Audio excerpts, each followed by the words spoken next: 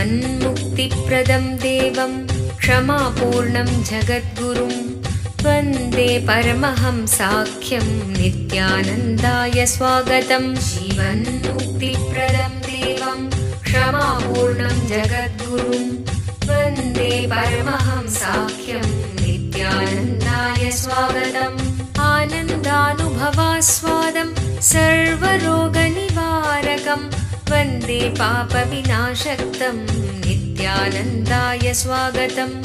आनन्दानुभवास्वादं सर्वरोगनिवारकं वन्दे पापविनाशक्तं नित्यानन्दाय स्वागतम्।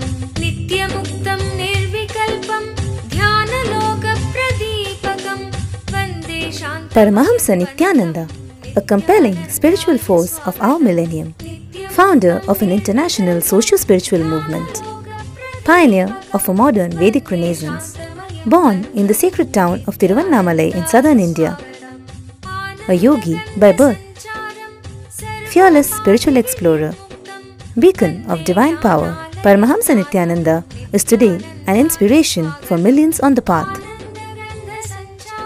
Adept in ancient mystical yogic sciences, researcher of the science of spirituality, guru for enlightenment. Every year, Paramahamsa Nithyananda shares with over 10 million people worldwide the treasures of his wisdom, the joy of his laughter, and the incomparable power of his initiation. Now, Paramahamsa Nithyananda reveals the secrets of living enlightenment. Join us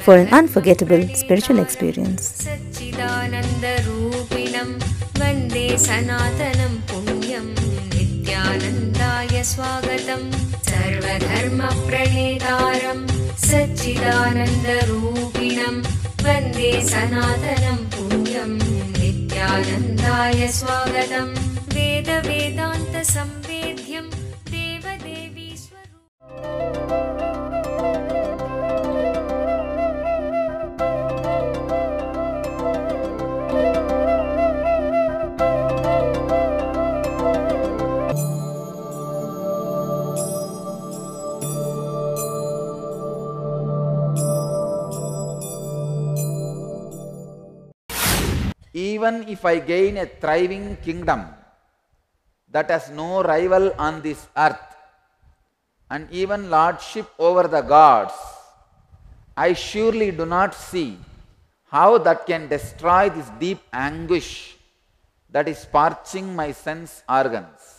Wow. First time Arjuna is talking intelligently. The moment you surrender, the first thing happens to you.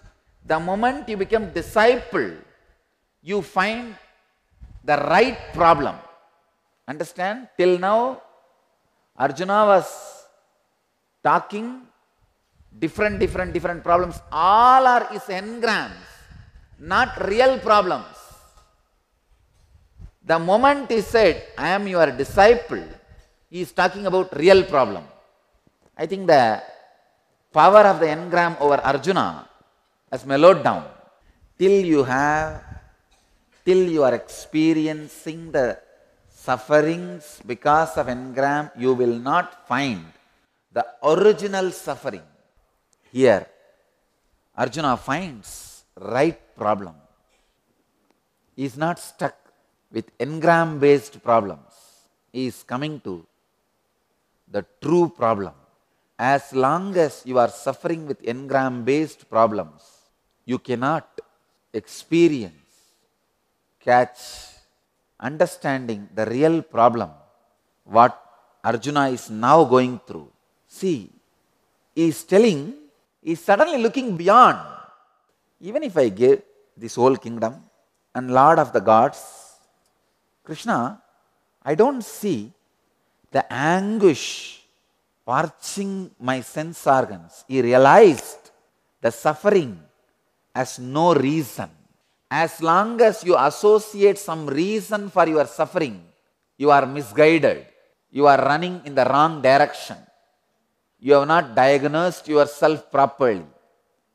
When you understand there is no reason for suffering is your existence is suffering to express your existence to your existence. It is like you are suppressed inside you, and the suppressed you is trying his best to break free from that suppression and express itself to you. Suffering is not due to some reason. All your effort to find some reasons for suffering is only you yourself trying to miss the real life. Suddenly, Arjuna is realizing his sufferings are not due to any reason. Whether he wins or loses, even if he wins and gets control over all the worlds and gods, he feels how is the anguish that is parching. My sense organs are going to be healed. He realizes the original suffering. When you start suffering and trying to identify some engrams, some reason for the suffering, if you did not find the reason you are blessed, then you will realize suffering has no reason. It has no reason. Your existence is suffering. The cosmic existence is suffering to express its existence through your existence. It's like a child trying to come out of mother's womb. The enlightenment is trying to come out of you. When a mother who is delivering a baby tries to find any reason for her pain or suffering, if she feels, oh, maybe I hit my hand yesterday, that is why I am having suffering. Ah, Okay, that can be reason for the pain you feel in your fingers. What about the reason for the pain you feel in your leg? Because when you are delivering a baby, your whole body is going to experience that agony, that anguish. What about the pain you feel in your head? Maybe you can say, No, I was hitting my head so hard on the bed, that is why I am feeling. Okay, what about the pain you are feeling in your stomach? Eliminate stress from your life. Step up your performance levels. Enhance your clarity and decision making. Kalpataru, a unique full day transformational healing program blessed personally by rare living incarnation Paramahamsa Nithyananda. Harness the power of meditation and initiation. Experience a glimpse of Kundalini awakening for permanent physical and mental transformation.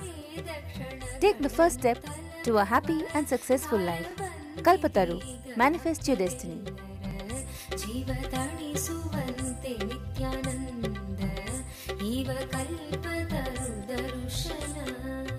Every weekend at Nithyananda Dhyanapeetham, Nithyananda Nagar Bidadi Bengaluru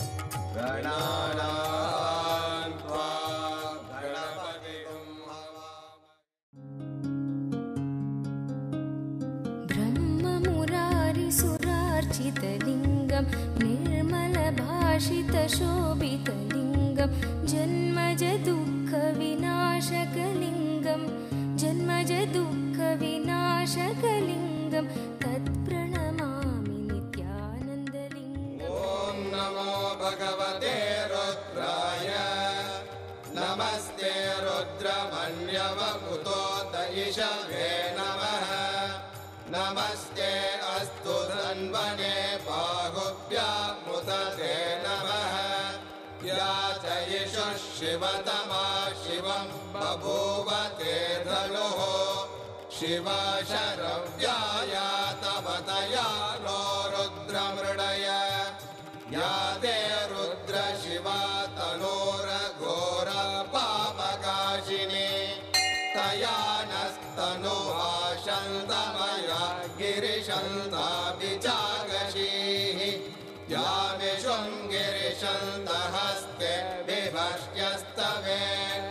शिवाङ्गिरित्रतां गुरुमाहि पुंसे पुरुषं जगत्।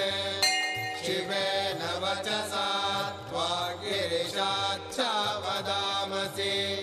यथा नः सर्वमिज्जगदयक्ष्मगुं सुमना असद् अद्य वोचदधिभक्ता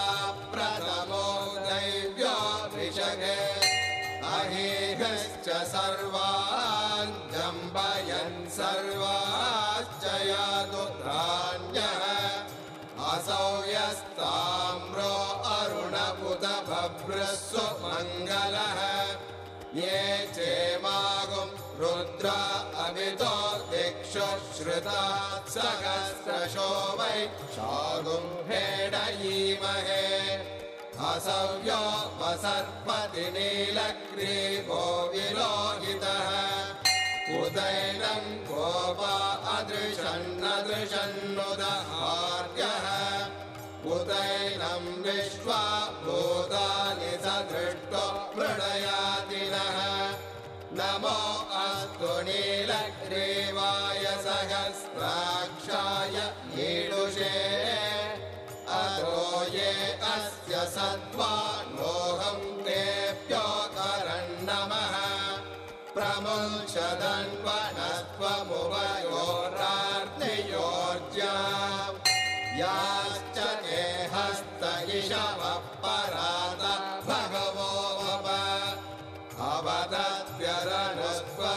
सहस्राक्षशतेषुरे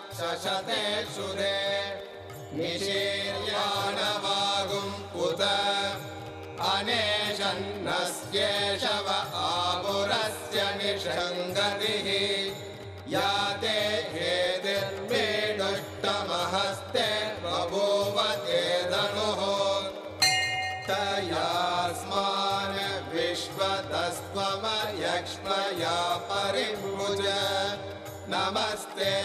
युधाय न तथाय कृष्णवे उभाभ्या उदरे न वा आरोभ्यां तव धन्वणे परिधे धन्वनो हेदिरस्मान् दृढक्तु विश्वतः। असो यशुरिस्तपे अस्मन्निधे। नमस्ते अस्तु भगवन् Visvesvaraya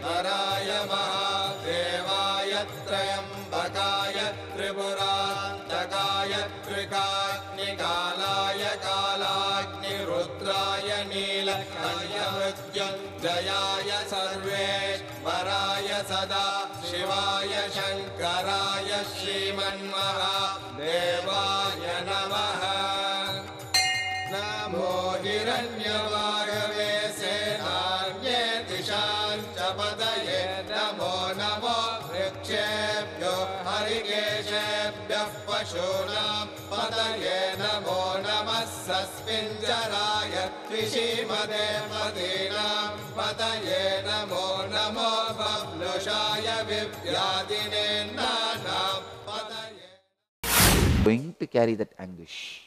That suffering is going to be there. If you try to find any reason for your suffering, you will take revenge on that reason. Taking revenge on the wrong reasons continuously is what I call birth and death and birth and death and birth and death.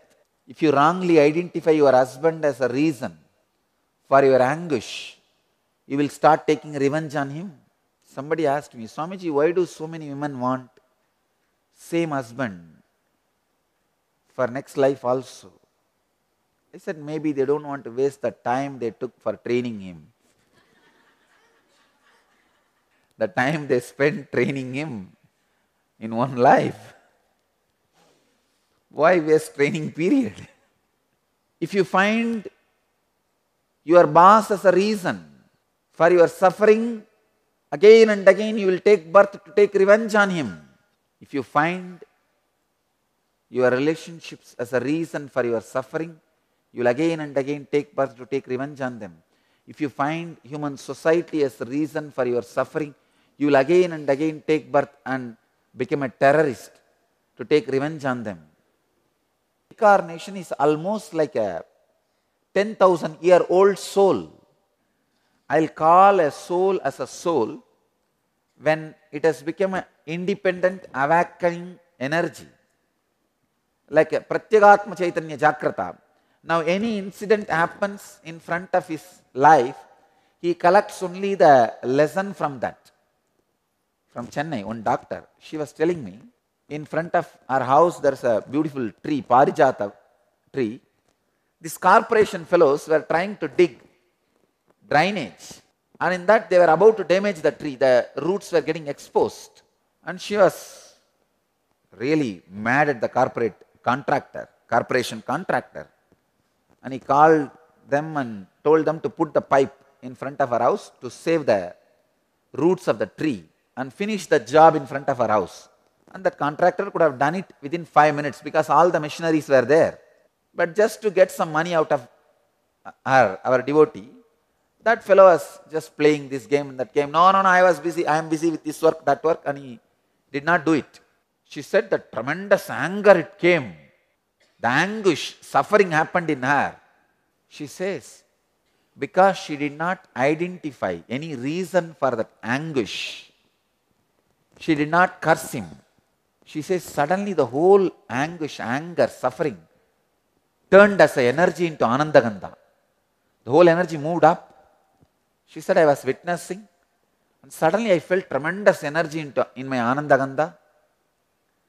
And I sat, closed my eyes, did not shout at him, did not do anything. In 10 minutes, the fellow was so angry and against, came with the missionary and did the job and went away. I told her, now the Pratyagatma Chaitanya Jakrata has happened in her. Means, without you involving, your thoughts are becoming reality. Without your false identification, without your false cognizance and actions. See, if she has taken cognizance that this contractor is responsible for our suffering, anguish, it's a false cognizance based on the engrams, samskara. She did not take cognizance. She just allowed the energy to explode, raise with a witnessing awareness, consciousness. And she is really a sincere person. When your experiences become reality, emotions become reality, without you taking wrong cognizance and wrong actions due to the wrong cognizance, you are already having Pratyagatma Chaitanya Jakrata, the individual soul awakening, the inner awakening has happened. Now, from now, see actually from the day she had that experience, her birthday of the soul starts, the count starts. Now, any number of years she lives with that same mood, she will only pick up wisdom from every incident. Means she only gets matured. From that day, her life, I can say the age of the soul starts. See, till that moment, only her age of the body. That is not in any way useful because it is going to die, die, die, die, die.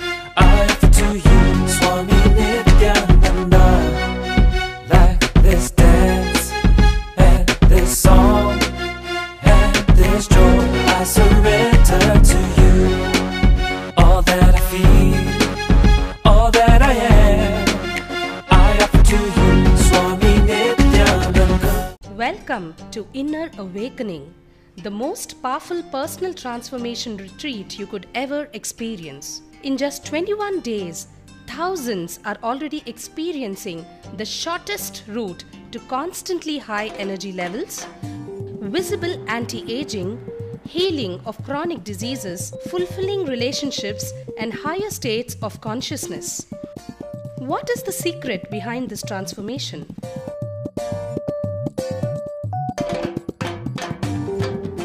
Kundalini means the inner potential energy. Once it is awakened, opens the different doors for the conscious experience in you. I can say which is a master key for all extraordinary spiritual experiences.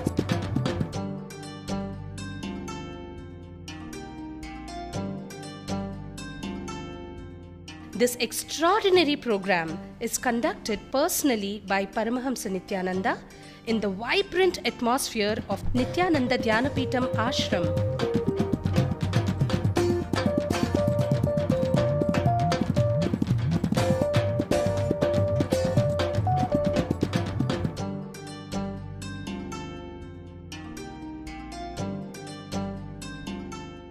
Open yourself to the benefits of Nitya Yoga and practical meditation.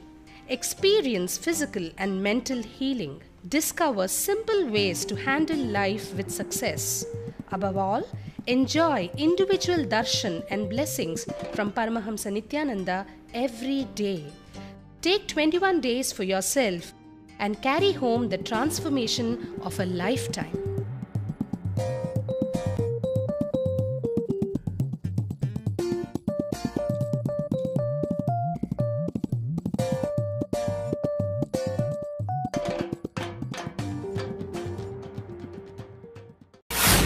Like uh, even if she has lived a hundred life, that all the years she spent in that hundred life is not going to be counted. That is not going to be the maturity of her soul. But the day she had this experience, where, see, anybody would have naturally associated with that contractor only, they are suffering. They would have called another one contractor and did the job. She did not do wrong cognizance. She did not find reason for her suffering and she is really honest. That is the reason the suffering has immediately raised itself to the level of Anandagandha and becomes answer, became reality. I can tell you, the whole Bhagavad Gita, Krishna does just this one job. Removing the idea somebody is responsible for Arjuna's suffering from Arjuna and making Arjuna take right cognizance, stopping him taking the wrong cognizance. You see, if Arjuna takes cognizance that somebody is responsible for his suffering, like all the people, friends who are standing in front of him, or the Krishna who is asking him to wage the war, or blaming himself who has taken all the foolish vows in front of public. I will kill all these fellows. I will kill Karna. I will do this. I will do that. These are the vows Arjuna took in front of public. So now either he has to keep up that vow or live in a defamed way. So naturally he will try to blame himself. Please understand, even blaming yourself is wrong cognizance. The whole Gita, Krishna does only one job telling Arjuna not to take wrong cognizance and letting Arjuna's suffering remain as original suffering and evolve itself to its Anandagandha so that just action happens. It becomes reality without Arjuna taking wrong cognizance. When she had this experience with that government contractor, not taking cognizance of any reason for suffering and allowing it to raise itself to the next level so that it can become reality by itself. If it becomes a maturity, at least for five years, five years is a too long period. If she can retain that state again and again and again for next five years, it is unlosable. You can't lose it. It's permanent. Because five years is a long period for any habit to become your biomemory. In the first level, it will be only in the level of muscle memory. But within five years, it will become biomemory. I can say based on this scale, an incarnation soul is at least 10,000 years matured. When you stop taking cognizance of any particular reason for your suffering, the maturity of the soul starts. The dark night of the soul starts. The dark night of the soul should not be understood in a wrong way. Please understand, it's a tremendous depression filling your whole being, but should not be taken in the wrong sense. It is like a delivery pain. Delivery pain should not be taken as inauspicious. It's an auspicious experience to bring one more life to planet Earth. Same way, the dark night of the soul is the auspicious expression to bring one more enlightened being to the planet Earth. The day you experience the dark night of the soul, the maturity of the soul starts. With our example, I will describe from now onwards, any incident happens in her life, she will not collect engram from her life, she will collect only the wisdom from that incident. Now, what has happened to her, you know? Now, suddenly a, a nerve in her is open, which knows the alchemy of converting your suffering into action. That nerve only I call it as Medanadi. When your suffering becomes automatically the right action,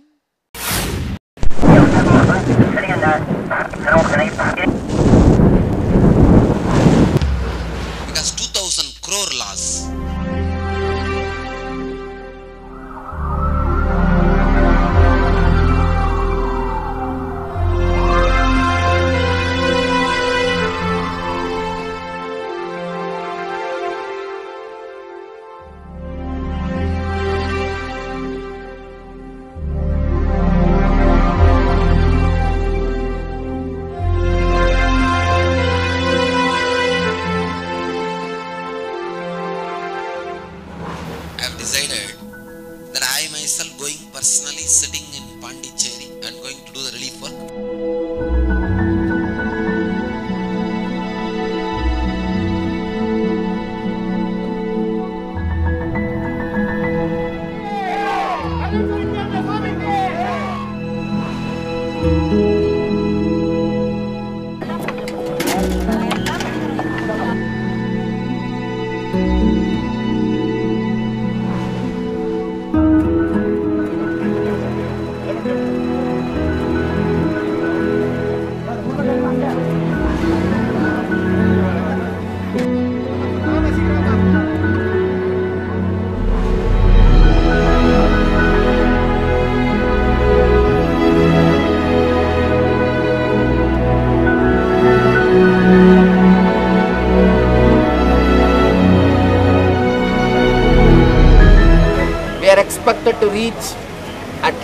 Least 1 lakh people per day.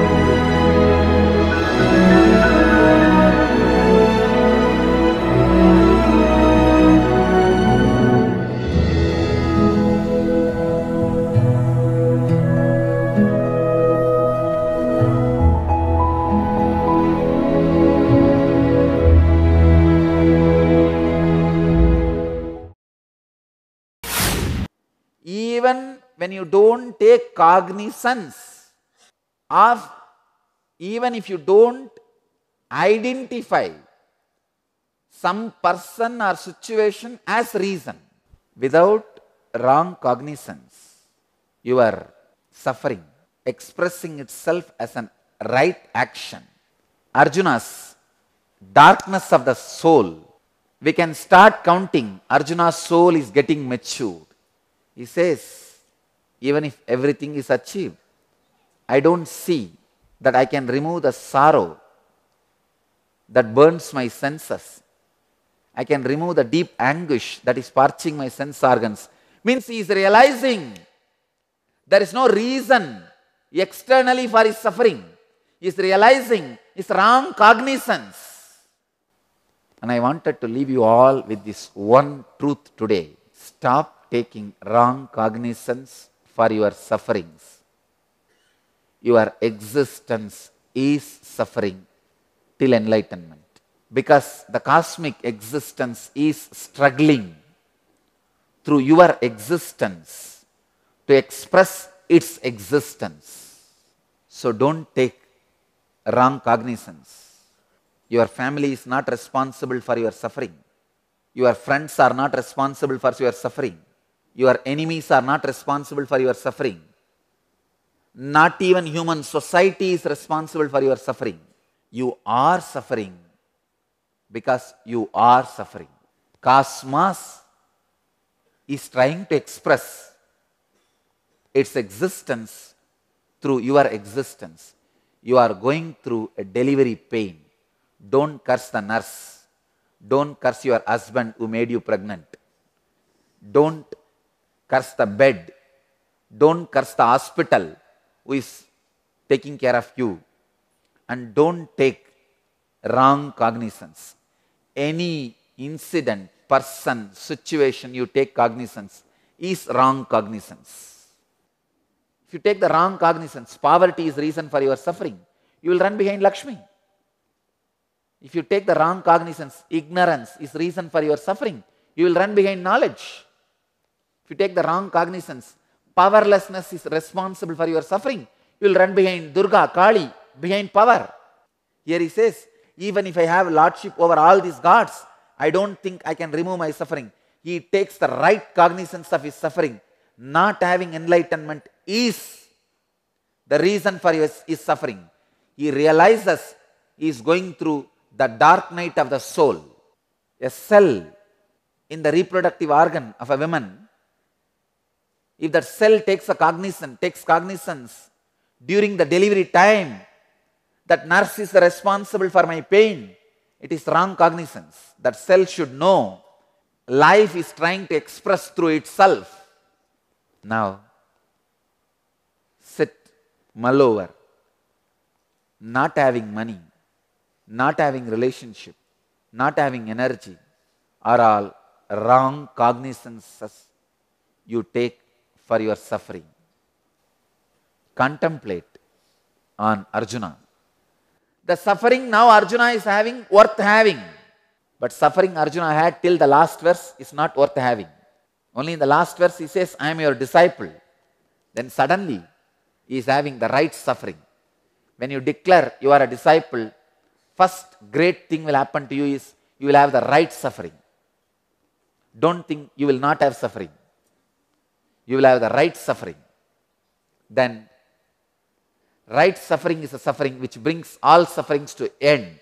But unfortunately, everybody expects the moment you declare yourself as disciple, all suffering will disappear. No. First, right suffering will happen. Only then sufferings can disappear. The Ingenious Program, a field of all possibilities. The children in the Ingenious Program are directly under the guidance of enlightened Master Paramahamsa Nithyananda. Nithyananda is an incarnation and exudes the knowledge of conflict free living. He states that enlightenment is our birthright. What an incredible gift for your child, a once in a lifetime privilege to live and thrive in the energy field of all possibilities and give enlightenment to your child. Where every child can become a genius. Learning can unveil the genius in every child, provided it stimulates higher order thinking skills, positive self esteem, teamwork, and an internal locus of control. Research has proven that holistic teaching methodologies paired with meditation stimulate whole brain functioning and result in self directed, spontaneous, and creative lifelong learners. An enriched environment. When young children have an enriched environment conducive to early learning in life, they have higher IQ, cognitive intelligence, EQ, social emotional intelligence, and SQ, spiritual intelligence. These early experiences are critical for the development of the child. Peer pressure and destructive social conditioning can take its toll on the child. It can create negative thought patterns and destructive behaviors unless these enriching experiences are provided. An enriched environment includes whole brain activities which stimulate the utilization of both sides of the brain. The right brain is responsible for creativity, intuition, spontaneity, quantum memory, learning in a flash, and computer like calculations. The left side of the brain is responsible for inner linear thinking and analysis.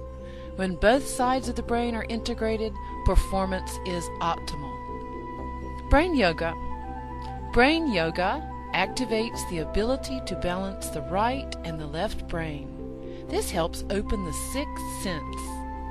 Children are given activities to balance both sides of the body simultaneously using distinctive postures that stimulate both sides. The neurological brain patterns move from beta to alpha, increasing alertness and attention. Quantum memory. Quantum memory is a constant downloading of information without interference of the mind.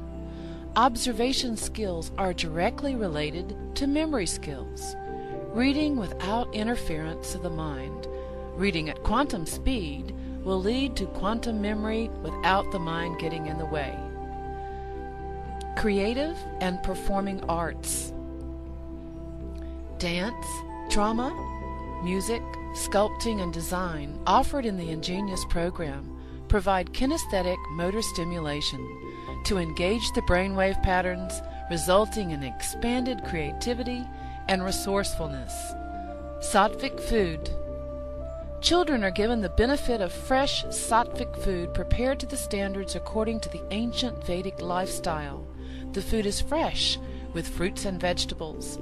Vegetarian food creates radiant health in the body. Vedic cultural arts. Sanskrit chanting stimulates the brain to produce full brain coherence, developing clearer perception and integrated thinking. Chanting also promotes inner silence and improves the attention span. Meditation and expanded awareness. Meditation instills a deep silence in the child, resulting in deeper, richer perception and clarity in thinking. Ingenious produces the next step in evolution, a mature human being who functions at a higher state of consciousness. Expanded awareness provides the platform for a vision of all abilities of life, perfect health, prosperity, and life without conflict. What more could you ask for your child? If I can just teach this one science to the kids, I will have millions of enlightened beings.